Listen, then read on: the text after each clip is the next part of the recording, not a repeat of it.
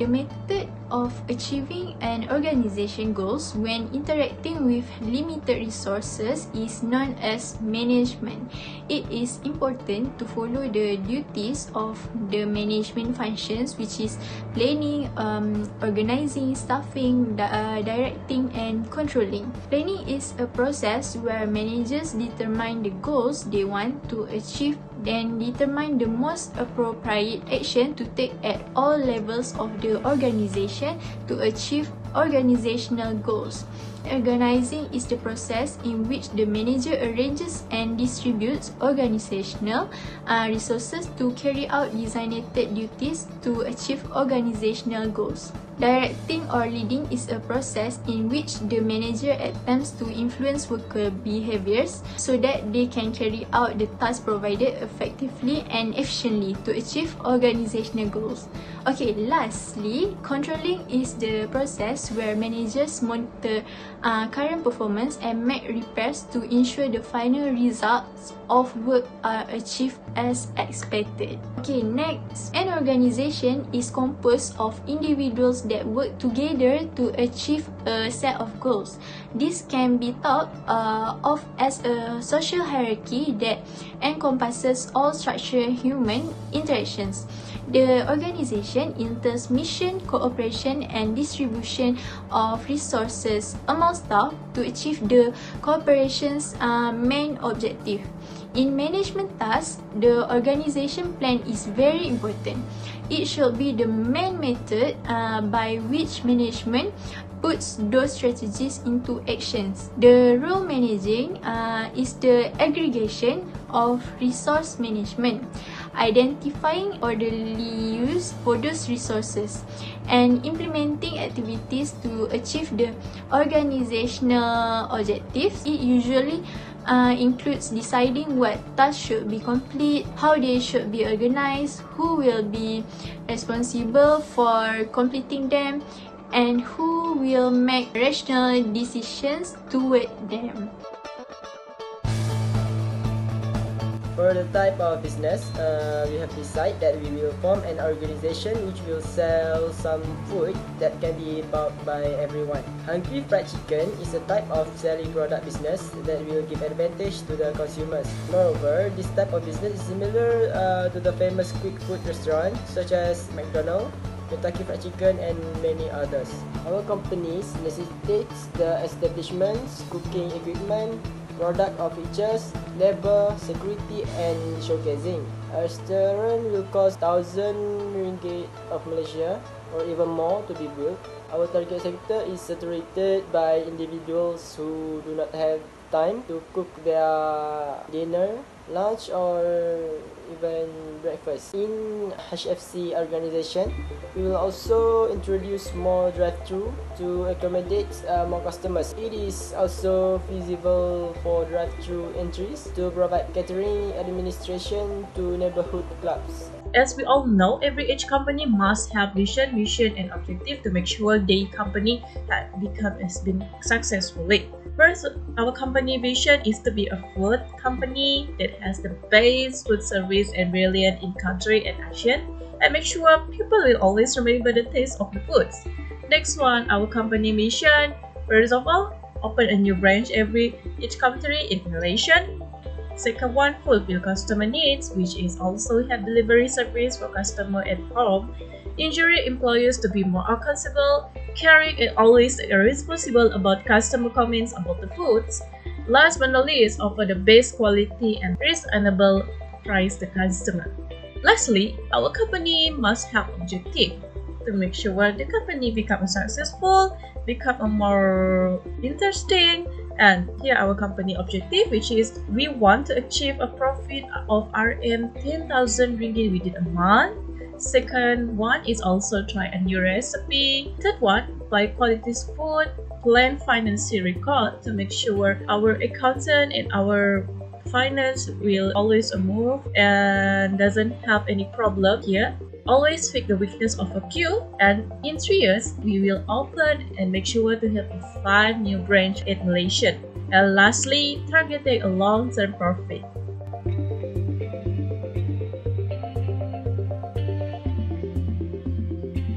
Planning is the most important management function of an organization. Hungry Fried Chicken, which is HFC, carry out two types of planning, which is strategic planning and operational planning. Strategic planning involves analysis competitive strength, weakness, opportunity and threat of an organization and then determining ways to implement the organization to complete effectively in their environment. Strategic planning is a large-scale action plan to set a long-term goal with increased market worth value. Operational planning is a short-term planning that is appeared to support specific action steps of strategic planning. Furthermore, planning objectives of HFC organization are to achieve a profit of 10,000 within a month, always be innovative with trying new recipe two month once to make sure customer to have a new experience with our taste.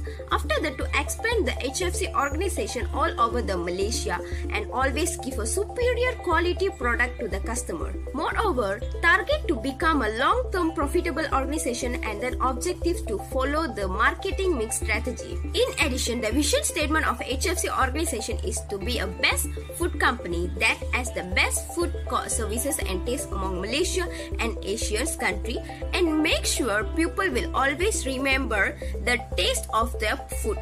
Moreover, the mission statement of our HFC organization is open a new branch in each and every state in Malaysia, fulfill the customer needs, ensuring employee to be a more accountable, caring and always take a responsible and customers comments about the food and lastly offer the best quality and reasonable price to satisfy the customer. SWOT analysis is represented the strength, weakness, opportunity and threats of an organization. HFC organization has a great planning to run the organization successfully with their own strength which is high superior quality of food, quick services, environmentally friendly and introduce a new menu based on the pupil taste. Secondly, although HFC organization has a strong planning to run an organization successfully, but they got some weaknesses in this organization, which is logistics supply chain, some unethical supplier, and high prices. Moreover, the opportunity that as on HFC organization planning is innovation in new ideas, open new branches in every state of Malaysia, and do franchises. Finally, the last element in SWOT analysis is threat. Threat of the HFC organization is many market competitors, high calorie foods, quality of services focus, and increased wages rates directly affected the prices list. The second pillar of an organization management function is organizing. Organizing is a systematic process of integrating, implementing, coordinating task goals and activities that conducted for attaining an organization's objectives, vision and mission. Organization culture is also a main part in organizing function. Organization culture is defined as a set of shared, taken for granted implicit assumptions that a group holds and that determine how it perceives, think about and react to its various environment. In HFC organization, there are three levels of organization culture, which is in level 1 observable artifact is physical manifestation of culture. In level 2 there will be a espoused value which means explicitly state values and norms while in level 3 there will be a basic assumption is core values of the organization. HFC organization also conducted four types of organizational culture, which is clan culture, adhocracy culture, market culture, and hierarchy culture. Clan culture has an internal focus and value flexibility rather than the stability and control. Then in adhocracy culture is primary focus on high risk and innovation, while the market culture is primary focus on competition and growth. Finally, the hierarchy culture which is focused on organizational structure and stability. HFC organization carry out a corporate level strategy and plan to establish an operational level strategy in future. Corporate level strategy is focused on the whole organization only. The corporate level strategy consists of three levels of management, which is in level on uh, there will be a director store who is the founder of the HFC organization. In level 2, there will be a manager who plays an important role in an organization with expert store traffics and optimize profitability, achieve all goals which determine in planning function and developing the organization strategy to increase the number of customers. In level 3 of organization chart consists of staff mentors, waiters, service staff, and chefs. The level 3 employees are the most important assets on HFC organization because they are the people who implement every plans and satisfy the customer needs with giving the foods according with their taste. Leading is the third management function for an organization. Leading focus on motivating employees to ensure organizational goals are achieved.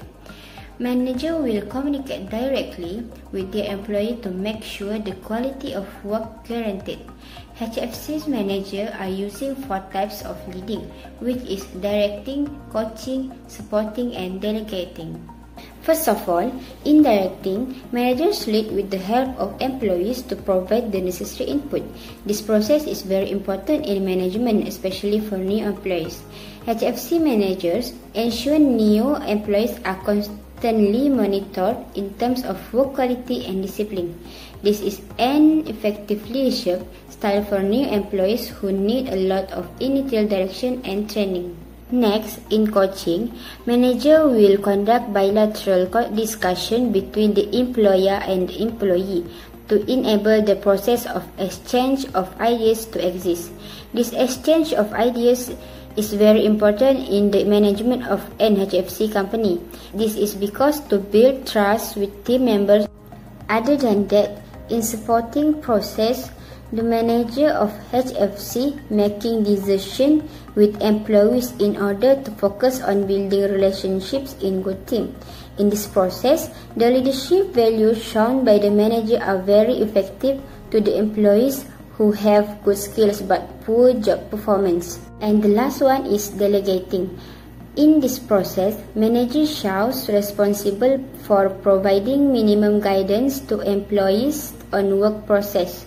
This encourages employees to perform their own tasks with minimal guidance and not just rely on guidance from superiors. On the other words, leading also concern about motivating. Motivating can come from internal and external factors. Motivating has a two theory. The two theory of motivating in leading is expectancy theory and the goal setting theory. Expectancy theory founded by Victor H. Vroom in 1960.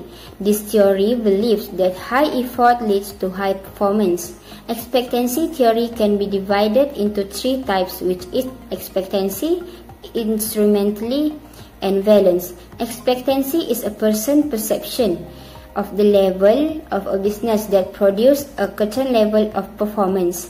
Next, Instrumentality is a perception of the level performance that leads to the achievement of a certain result. At this point, a manager must clearly communicate the relationship between performance and the, the result that the workforce will get. Next, goal setting theory is identifying the types of goals that are most effective in generating the highest levels of motivation and performance as well as explanation of the effect of those goals. In this theory, to stimulate motivation and high performance, the goal must be something specific and challenging. In conclusion, leadership acts as an important factor that greatly influences the performance, motivation, and attitude of employees.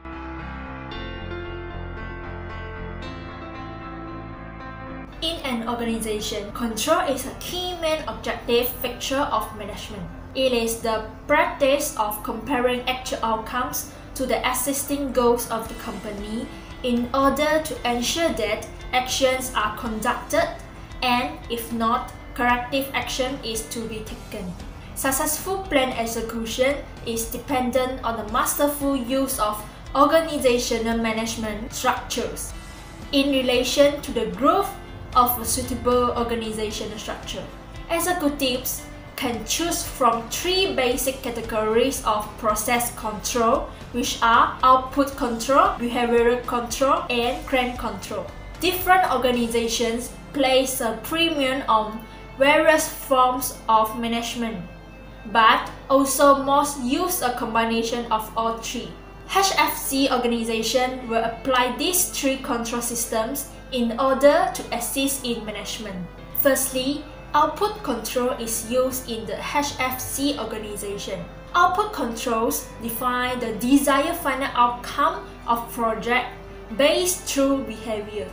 The levels of customer satisfaction, profit goals, and sales targets in HFC organization are examples of output controls.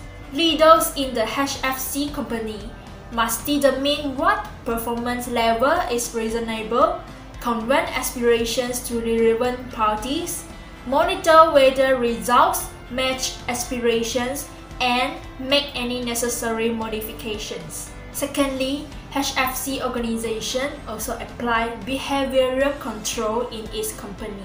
Behavior controls are work-specific and demarcate procedures essential for work performance. Numerous policies and procedures, in particularly, are employed to regulate or govern behavior.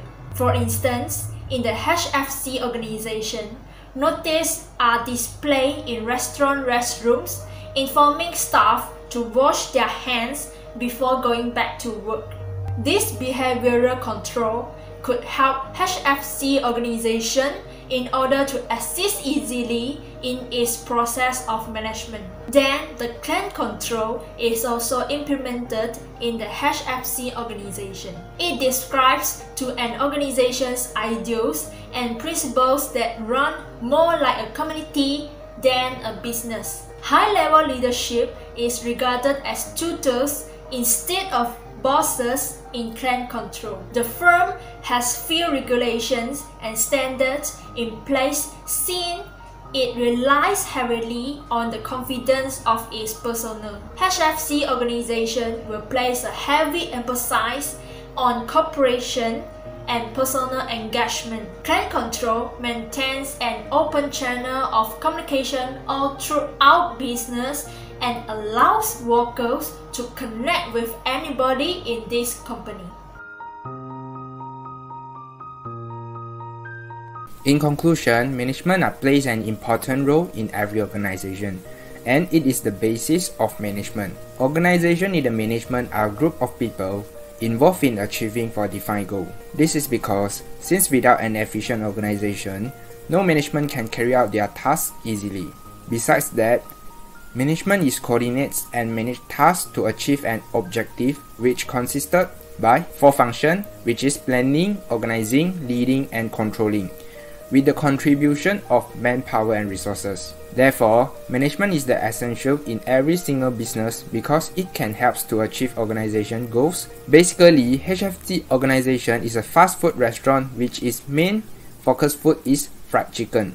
HFC organization also provides drive-through and takeaway services for urgent customers. In order to fulfill and achieve customer satisfaction and company's mission, vision as well as objectives, HFC organization has applied the four fundamental and administration functions which are planning, organizing, leading and controlling for the entire work of management. Furthermore, the planning function for HFC was consists of strategic and operational planning. In strategic planning, HFC was using SWOT analysis to determine and identify strengths, weakness, opportunities, and threats for the organization.